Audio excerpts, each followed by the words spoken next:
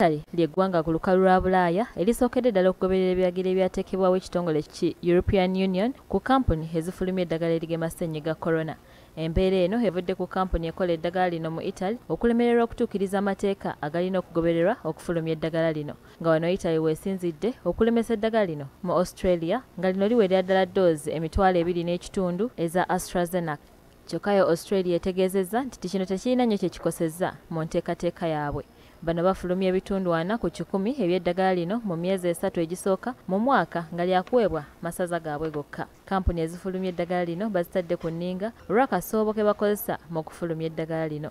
Ekitongole ki european union kitegeezezza nti eddagala eririwo baaligulira masaza gaabwe gokka australia yatandika okugema abantu baayo sabbiiti ewedde ne fiza nga sabbiiti ejja babadde basuubira okutandika okugema abantu baabwe ne astrazenaca kitegeerekeseeko nti kino gavumenti ya italy yakigenderedde olw'omuwendo gw'eddagala omungi gwe baabadde basabye nga tebalirina ekyaviiriddeko okuyimiriza okutwalibwa kw'eddagala lino mu australia. Ate nga ne australia si y'emu ku nsi eziri obubi.